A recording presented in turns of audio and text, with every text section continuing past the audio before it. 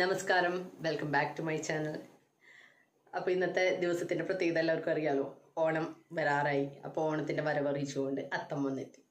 അപ്പോൾ ഇന്ന് അത്തമാണ് അത്തത്തിന്റെ പ്രത്യേകത. പ്രത്യേകിച്ച് പൂവിളികളും അതുപോലെ തന്നെ കുട്ടികളുടെ ആഘോഷങ്ങളും പൂക്കളങ്ങളും ഒന്നും കാണുന്നില്ല എവിടെ വളരെ എല്ലാവരും ചുരുക്കി കഴിഞ്ഞു. എല്ലാവരും കോവിഡിന്റെ ആ ഒരു ഇതിൽ പെട്ടുകെടുക്കുകയാണല്ലോ. അപ്പോൾ ആഘോഷങ്ങളെല്ലാം കുറഞ്ഞു. രണ്ട് മൂന്ന് വർഷങ്ങളായിട്ട് കേരളത്തിൽ തന്നെയാണ് സ്ഥിതി. ഓണം വരുമ്പോഴേക്കും നമുക്ക് പ്രളയം വന്നിരുന്നു. അപ്പോൾ പ്രളയത്തിന്റെ ഒന്ന് നീങ്ങി നിന്നപ്പോഴേക്കും കോവിഡ് വന്ന് കീഴടക്കി കഴിഞ്ഞു. അപ്പോൾ എല്ലാവരും ആഘോഷങ്ങളൊക്കെ മങ്ങിയിരിക്കുകയാണെന്നുണ്ടെങ്കിലും വീട്ടിലാണ് ഓൺലൈൻ ക്ലാസ്സുകളിലാണ് കുട്ടികൾ അവർക്ക് കൂട്ടുകൂടാൻ പറ്റണില്ല പൂക്കളങ്ങളും മത്സരങ്ങൾ നടത്താൻ പറ്റണില്ല കളർ ഡ്രസ് ഇട്ട് സ്കൂളിൽ പോകാൻ പറ്റണില്ല. ഒക്കെ വിഷമങ്ങൾ തന്നെ ദുഃഖങ്ങൾ തന്നെ. എന്നാലും അതിന്റെ ഇടയിൽ നമ്മൾ കുഞ്ഞു കുഞ്ഞു സന്തോഷങ്ങൾ ആഘോഷങ്ങൾ ആഘോഷിക്കപ്പെടണം എന്നാണ് കൊറോണ നമ്മളെ പഠിപ്പിച്ചിട്ടുള്ള പാഠം. കാരണം നാളെ എന്തെന്നുള്ളത് നമുക്ക് ഉറപ്പില്ലാത്തൊരു അവസ്ഥയാണ്. അപ്പോൾ ഞാനും എന്റെ ഒരു ചെറിയ ശ്രമം നടത്തിക്കൊണ്ടിരിക്കുകയാണ്. അതായത് നമ്മളുടെ ചാനലിലൂടെ ഞാൻ ഓണമായിട്ട് അതായത് ഓണത്തിന്റെ വരവറിയിച്ചുകൊണ്ട് അത്തം മുതൽ ഓണത്തിന്റെ കുറച്ച് ചെറിയ ചെറിയ റെസിപ്പീസ് അതായത് ഓണ വിഭവങ്ങളുടെ റെസിപ്പീസ് ഇടാനാണ് ഞാൻ ആഗ്രഹിക്കുന്നത് അപ്പോൾ എല്ലാവരും സപ്പോർട്ട് ചെയ്യണം കാണണം.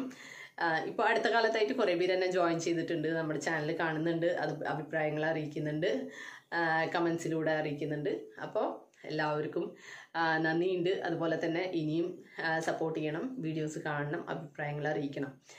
അപ്പോൾ ഇന്നത്തെ നമ്മളുടെ സ്പെഷ്യൽ വിഭവം എന്താണെന്നുള്ളത് നമുക്ക് വീഡിയോയിൽ കാണാം.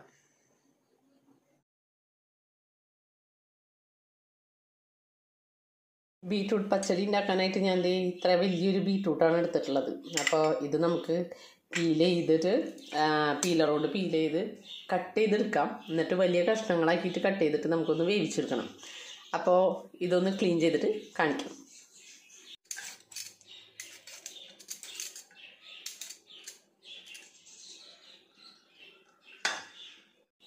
ഞാനിപ്പോൾ ഇതിനെ ഇങ്ങനെ ക്ലീൻ ചെയ്തതിന് ശേഷം ഇത്ര വലിയ കഷ്ണങ്ങളാക്കിയിട്ട് മുറിച്ചിട്ടുണ്ട്. അപ്പോൾ ഞാൻ ഉദ്ദേശിക്കുന്ന കുക്കറിലിട്ടിട്ട് ഒരു മൂന്നാൽ വിസിലടിപ്പിക്കാം അപ്പോൾ നമുക്ക് കുറച്ച് വെള്ളം ഒഴിച്ചാൽ മതി. കാരണം ഇത് വേവാൻ ആവശ്യമുള്ളത് ഇതിൽ വെള്ളം ഉള്ളതുകൊണ്ട് ആവിയിൽ ഇത് പുഴുങ്ങിക്കോളും. അപ്പോൾ ഇത്രയും വലിയ പീസസ് ആയിട്ടാണ് ഞാൻ ഇതിന് ഇട്ടേക്കുന്നത്. കുക്കറിലിട്ടിട്ട് ഒരു നാല് വിസിലടിച്ചെടുക്കാനാണ് ഞാൻ ഉദ്ദേശിക്കുന്നത്. കാരണം വേണമെങ്കിൽ നമുക്ക് അടുപ്പത്ത് വേറെ പാത്രത്തിൽ വെച്ചിട്ട് വെള്ളം കുറച്ച് വെള്ളം വെച്ചിട്ട് വേവിക്കാം കേട്ടോ പക്ഷെ അത് ടൈം പിടിക്കുമല്ലോ അധികം. ഇത് വെന്തിട്ടാണ്. എന്നാൽ അങ്ങനെ ചെയ്യുന്നവർ ഇത് കുഞ്ഞു കുഞ്ഞു കഷ്ണങ്ങളാക്കിയിട്ട് നുറുക്കിയിട്ട് ചെയ്യാം. എന്നിട്ട് അത് നന്നായിട്ട് ഉടച്ചെടുക്കണം. അല്ലാന്നുണ്ടെങ്കിൽ വേണമെങ്കിൽ ഇതിനെ ഗ്രേറ്റ് ചെയ്തിട്ട് നമുക്ക് യൂസ് ചെയ്യാം. അല്ലാന്നുണ്ടെങ്കിൽ ഇത് വെന്തതിന് ശേഷം വേണമെങ്കിൽ ഗ്രേറ്റ് ചെയ്യാം. അപ്പോൾ ഇത് ഏതിലും ഏത് മാർഗം വേണമെങ്കിലും നമുക്ക് ഉപയോഗിക്കാം. അപ്പോൾ ഞാൻ ആദ്യം തന്നെ ഇത് ഒന്ന് പുഴുങ്ങി എടുക്കണം. അപ്പോൾ ഒരു നാല് വിസിലടുപ്പിക്കാം നമുക്ക്. കുറച്ച് വെള്ളം ഒഴിച്ചിട്ട്. ഇതിലേക്ക് ഞാനൊരു അര ഗ്ലാസ് വെള്ളം ഒഴിക്കണുള്ളൂ. ഈ അര ഗ്ലാസ് വെള്ളം മതി ഇതിലേക്ക്. എന്നിട്ട് ഇതിനൊന്ന് നിരത്തിയിട്ട് കൊടുക്കുക. അത് കൂടാണ്ട് ഇതിൽ കുറച്ച് ഉപ്പ് ഇട്ട് കൊടുക്കുക. ഇതിന് ഒരു ഉപ്പ് പിടിക്കാൻ വേണ്ടിയിട്ട്. അപ്പോൾ അതിലേക്ക് ഉപ്പ് ഇട്ട് കൊടുക്കുന്നുണ്ട്. എന്നിട്ട് അടച്ച് നാല് വിസിലടിപ്പിക്കാം നമ്മുടെ പച്ചടിയിലേക്ക് ആവശ്യത്തിന് ഈ നാളികേരം ഒരു കപ്പ് നാളികേരം ഉണ്ട് ഞാൻ ചെരുകി എടുത്തിട്ടുണ്ട്. അതുപോലെ തന്നെ കാൽ ടീസ്പൂൺ ജീരകം നല്ല ജീരകമാണ്. അത് നമുക്ക് ഇട്ട് കൊടുക്കാം. അതുപോലെ തന്നെ നമ്മൾ കടുകാണ് ഇനി ഇടുന്നത്. കടുകും നമുക്കൊരു കാൽ ടീസ്പൂൺ കടുക് ഇട്ടിട്ട് അരയ്ക്കണം. ഇതിലേക്ക് ഞാനൊരു നാല് പച്ചമുളക് ഇടുന്നുണ്ട്. ഇത് വളരെ എരിവ് കുറഞ്ഞതുമാണ്. പിന്നെ കുഞ്ഞു കുഞ്ഞിയാണ് പച്ചമുളക് എന്റെ കയ്യിലുള്ളത്. അപ്പോൾ അത് കാരണം കൊണ്ട് നാല് പച്ചമുളക് നമുക്കിതിൽ കീറി വേണമെങ്കിൽ ഇടാം കേട്ടോ. മിക്സിയിൽ അടിച്ചെടുക്കേണ്ടതല്ലേ. ഇതിലേക്ക് നമുക്കൊരു നാലഞ്ച് വേപ്പിലേരെ ഇലയും കൂടിയിട്ട് ഇട്ടിട്ട് വേണം നമുക്കിത് അരച്ചെടുക്കാനായിട്ട്. ഇത് മിക്സിയിൽ ഇട്ടിട്ട് നല്ല ഫൈൻ പേസ്റ്റ് ആയിട്ട് നമ്മൾ അരച്ചെടുക്കണം. നന്നായിട്ട് അറിയണം കുറച്ച് വെള്ളം മാത്രം ചേർത്തിട്ട് അരച്ചെടുക്കുക. അറിയാൻ വേണ്ടി ആവശ്യത്തിനുള്ള വെള്ളം മാത്രം യൂസ് ചെയ്യാം ഇതിപ്പോൾ നമ്മളുടെ പുഴുങ്ങി വെച്ചിരിക്കുന്ന ബീട്രൂട്ടാണ് അപ്പോൾ ഇത് ഒരുവിധം വെന്ത വെന്തിട്ടുണ്ട്. വേണമെന്നുണ്ടെങ്കിൽ നമുക്ക് ഇത് ഇങ്ങനെ തന്നെ ഗ്രേറ്റ് ചെയ്തെടുക്കാം.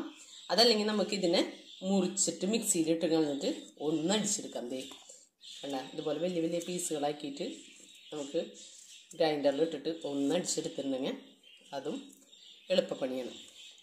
അപ്പോൾ നിങ്ങൾക്ക് ഇഷ്ടമുള്ള പോലെ ചെയ്യാം. വേണമെന്നുണ്ടെങ്കിൽ ഇത് ഗ്രേറ്റ് ചെയ്തും ഗ്രേറ്റ് ചെയ്തിട്ട് എടുക്കുകയാണെങ്കിൽ പിന്നെ അത് മിക്സിയിലിട്ട് അടിക്കേണ്ട ആവശ്യം വരില്ല. നല്ല ചൂടുണ്ട്. ചൂടാറിയെന്ന് വെച്ചിട്ട് ഞാൻ കൈ വെച്ചത്.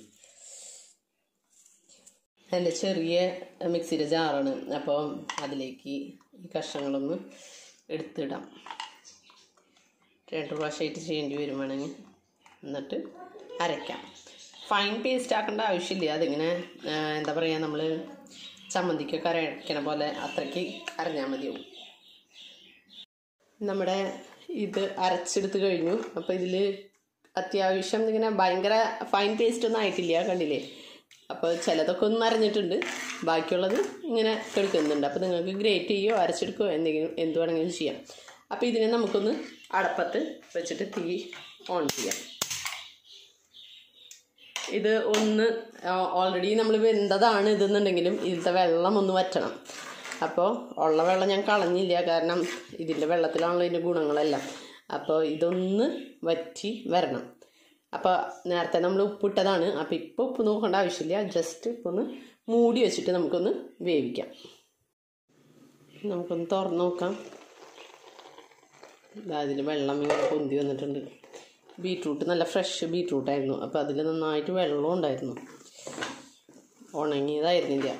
നല്ല റെഡ് കളറായിരുന്നു ഇത് അപ്പോൾ ഇതൊന്ന് ചെറുതായിട്ട് ആയി വരണം. നമുക്ക് ഇതിന്റെ ഇടയിൽ കുറച്ച് വെളിച്ചെണ്ണ ഇങ്ങനെ ഒഴിച്ചു കൊടുക്കാം.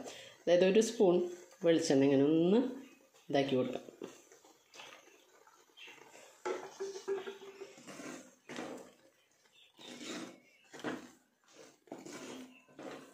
തീ ഞാനൊരു മീഡിയം ഫ്ലെയിമിലാണ് വെച്ചിരിക്കുന്നത്. ഒന്നാമത്തിൽ മൺകലത്തിലാണ് വെച്ചിരിക്കുന്നത്. അത് കാരണം കൊണ്ട് തന്നെ തീ കുറച്ചിട്ടാണ് വെച്ചിട്ടുള്ളത്. നമ്മളുടെ വെള്ളമൊക്കെ ഇങ്ങനെ വറ്റി തുടങ്ങിയിട്ടുണ്ട്. ഈ സമയത്ത് നമ്മളുടെ അരപ്പ് നന്നായിട്ട് മിക്സിയിൽ അരച്ച് ചേർത്ത് വെച്ചിട്ടുള്ളത് നമുക്കിതിലേക്ക് ഇട്ട് മിക്സ് ചെയ്യാം. അപ്പോൾ ഇതിന്റെ ആ പച്ചമുളകിന്റെ ചുവയും ഇതൊക്കെ ഒന്ന് മാറണം. അതിന് വേണ്ടിയിട്ട് നമുക്കിതിലേക്ക് ഇട്ട് കൊടുക്കാം. നമ്മുടെ ബീട്രൂട്ട് നല്ല കളറുള്ള ബീട്രൂട്ടായിരുന്നു. അപ്പോൾ ആ റെഡ് കളറ് റെഡിഷ് കളറ് നന്നായിട്ട് ഇങ്ങനെ നിൽക്കുന്നുണ്ട്. നമ്മളുടെ നന്നായിട്ട് ആ പച്ചമണമൊക്കെ മാറിയിട്ടുണ്ട്. ഒന്ന് നന്നായിട്ട് എന്താ പറയുക വെള്ളം വറ്റിയൊക്കെ വന്നിട്ടുണ്ട്. അപ്പോൾ ഇതിലേക്ക് നമുക്ക് ഇനി നമ്മുടെ മെയിൻ ഇൻഗ്രീഡിയന്റ് ആയിട്ടുള്ള തൈര് ഒഴിച്ചു കൊടുക്കാം. തൈരായിരിക്കണം ഒഴിക്കുന്നത്. തൈര് ഇതിങ്ങനെ മിക്സിയിലൊന്നും അടിക്കാൻ പാടില്ല. കാരണം മിക്സിയിൽ അടിച്ചു കഴിഞ്ഞിട്ടുണ്ടെന്നുണ്ടെങ്കിൽ അതിന്റെ ആ ഇത് പോവും. അതൊരു മോര് രൂപത്തിലേക്ക് മാറും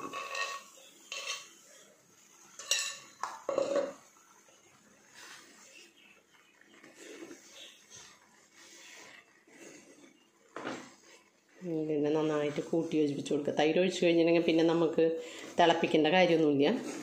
നമുക്കിതിൽ ഉപ്പുണ്ടോ എന്ന് മാത്രം ഒന്ന് പരിശോധിച്ചാൽ മതി. എന്നിട്ട് പിന്നെ നമുക്ക് കാച്ചാൽ മതി. നല്ല കളർഫുള്ളായിട്ടുണ്ട്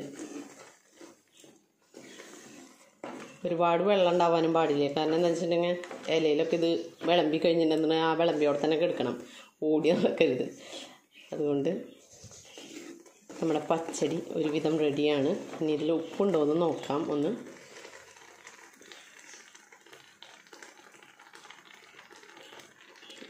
ഉപ്പ് കുറച്ച് കുറവാണ്. അപ്പോൾ ഈ സമയത്ത് നമുക്ക് ഉപ്പിട്ട് കൊടുക്കാമെന്ന് അപ്പം ഞാൻ ദേ കുറച്ചുകൂടി ഉപ്പിട്ട് കൊടുക്കുന്നുണ്ട് ആവശ്യത്തിനുള്ളത് അപ്പോൾ ഓരോരുത്തരുടെയും ടേസ്റ്റിന് അനുയോജിച്ച രീതിയിൽ ഉപ്പിട്ട് കൊടുക്കാം. എന്താ കളറില്ല നല്ല ഭംഗിയുണ്ട്.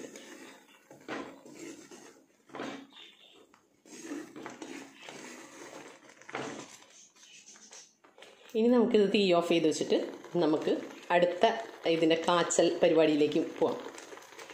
ഞാനപ്പോൾ ആദ്യം തന്നെ ഇത് സെർവിങ് പ്ലേറ്റിലേക്ക് മാറ്റുകയാണ് എന്നിട്ട് ഇതിന്റെ മേലേക്ക് കാച്ചി ഒഴിക്കാൻ വെച്ചിട്ടാണ്.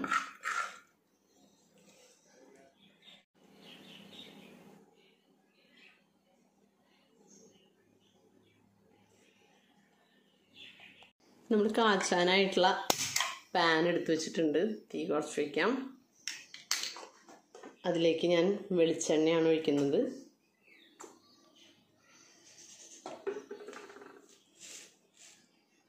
അപ്പോൾ എണ്ണ ചൂടായിട്ടുണ്ട്. നമുക്ക് കടുക് ഇട്ട് കൊടുക്കാം.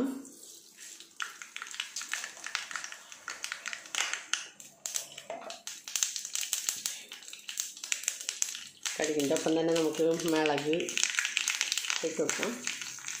ഉണക്കമുളകാണ്. ഞാൻ രണ്ടായിട്ട് പൊട്ടിച്ചത് ആ രണ്ടെണ്ണം എടുത്തിട്ട് അതിന്റെ ഒപ്പം വേപ്പിൽ ഇട്ട് കൊടുക്കാം. വേപ്പിൽ ഞാൻ കുറവേ ഇട്ടിട്ടുള്ളൂ.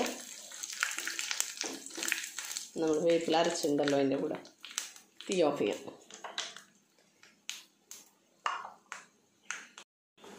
നമ്മുടെ കാച്ചിയത് നമുക്ക് ഇതിലേക്ക് ഇങ്ങനെ ഒഴിച്ചെടുക്കാം അപ്പോൾ നമ്മളുടെ ബീട്രൂട്ട് പച്ചടി നല്ല കളർഫുൾ ആയിട്ടുള്ള ബീട്രൂട്ട് പച്ചടി റെഡിയാണ് അപ്പോൾ ഓണത്തിന്റെ ആഘോഷങ്ങൾക്ക് അതുപോലെ വിഷു ഓണം ഇങ്ങനെയുള്ള സദ്യകൾക്കൊക്കെ പച്ചടി ഇല്ലാതെ അതുപോലെ ബീട്രൂട്ട് പച്ചടി ഇല്ലാതെ ഇപ്പോൾ ഒരു ആഘോഷം ഇല്ലാന്നായി കാരണം ഇലയുടെ തലയ്ക്കൽ ഈ ഒരു പിങ്ക് കളർ വന്നില്ല എന്നുണ്ടെങ്കിൽ ഒരു ഭംഗിയില്ലാത്ത പോലെയാണ് ഇപ്പോൾ അപ്പോൾ നമ്മളും തയ്യാറാക്കി വളരെ ഈസി ആയിട്ട് ഉണ്ടാക്കാൻ പറ്റും. അപ്പോൾ എല്ലാവരും ഉണ്ടാക്കി നോക്കുക. ഇഷ്ടപ്പെടുകയാണെങ്കിൽ ലൈക്ക് ചെയ്യാനും ഷെയർ ചെയ്യാനും സബ്സ്ക്രൈബ് ചെയ്യാനും മറക്കരുത്. അപ്പോൾ ഓണ വിഭവങ്ങളിൽ അടുത്തൊരു വിഭവമായിട്ട് വീണ്ടും നമുക്ക് കാണാം. അപ്പോൾ അതുവരേക്ക് ബൈ